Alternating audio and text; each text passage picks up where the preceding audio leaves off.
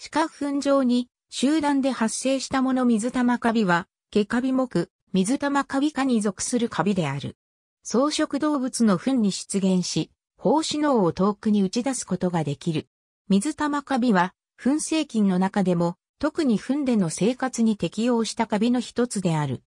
馬や牛、鹿などの糞では、糞が排出されてから2から3日頃に、糞の表面から水玉カビが、胞子のうがらを伸ばし始める。胞子のうがらは枝分かれせず、約半日で伸びきり、先端部にただ一個の胞子脳をつける。胞子脳は黒っぽく平たい円盤型をしており、胞子の浮かべは丈夫で、中に胞子のう胞子を詰め込んだまま基部から外れるようになっている。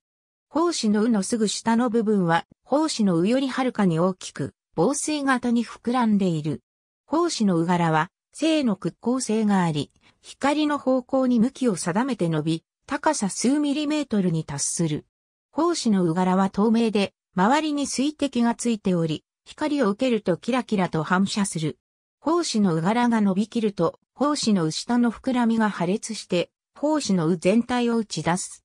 胞子脳が打ち出された後には、胞子脳柄は内容物を失ってしまい、白い、しおれた糸くずのようになって干からびる。純粋培養は比較的簡単で、成長も早い。ただし、糞に含まれるある種の成分が必要なので、糞抽出液を培地に含ませなければ生育しない。それ以外の栄養要求はごく普通のケカビ類と同じである。菌種体はケカビと同じような多角体の菌種からなる。寒天培地上では菌種はほとんど寒天表面に出てこない。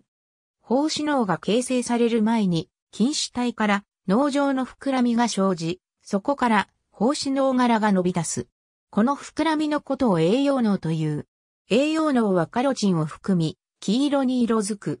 有性生殖は接合胞子による。どの種も自家不和合なので観察できることは少ない。普通のケカビ類では胞子脳はその壁が溶けるか、あるいは避けることで内部の胞子が外に出る仕組みである。しかし、水玉カビの場合、胞子脳壁は溶けも避けもしない。胞子脳と胞子のうがらの境目から剥がれて、中に胞子脳胞子を入れたままで飛び出す。ぶつかった場所に胞子脳壁に胞子が入ったままの形で付着しているのが見られる。シャーレで培養すれば揚げ豚の裏面に付着するので、これを分離の材料とすることもできる。胞子脳が弾き飛ばされるのは、胞子のうの下の膨らみが破裂するためである。これは、胞子脳が光の方向を向くので、胞子のうの下の膨らみが、レンズの作用を押して、この部分を加熱させるためであるとも言われる。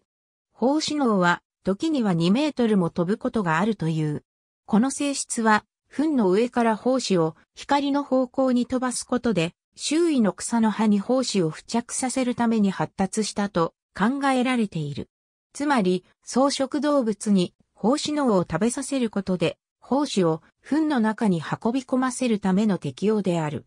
胞子は放出直後には発芽しやすいが、その後発芽しにくくなる。草食動物の消化管を通って後に発芽するようになると思われる。それの代用としてアルカリ性の溶液で処理すると発芽しやすくなるとも言われる。この菌は栄養的にも糞での生活に適応しており、糞に含まれる窒素化合物などを必要とする。一般の土壌をアンモニアや糞抽出液で処理することで発生させられるとの実験もある。なお、胞子を上の方に飛ばす性質は他の噴製菌にも見られ、小型の死脳菌などの胞子も往々にして、シャーレの上二裏に付着する。ただし、これほど遠くへ飛ばすものは、ごく少ない。水玉カビ属には十数種が記載され、実際には数種あると見られるが、いずれもその姿はよく似ている。P. クリスタリニスが最も普通の種である。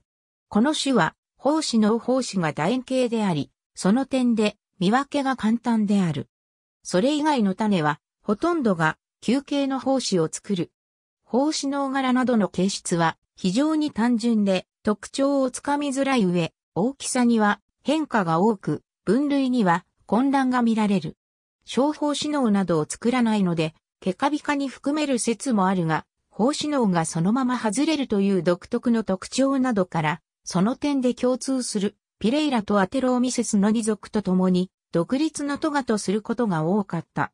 いずれも糞に生息し、胞子の鵜全体が外れる仕組みになっているが、胞子脳を打ち出すのは水玉カビ族だけで、後の二族では、胞子の鵜柄がひょろひょろと長く伸びて、糞から離れたところへ胞子をくっつけようとする。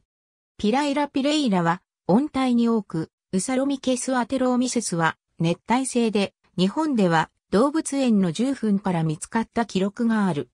水玉カビカパイラバラシ水玉カビ属パイラベラス、ピライラ属ピレイラウサロミケス属アテロミセスただし、分子系統のデータから水玉カビとアテローミセスがごく近いのに対してピレイラはこの両者からは遠いとの判断が出ており、先の二族のみをこのトガにまとめる見解が出ている。ミカは、ハット王、ダネルヤル。ありがとうございます。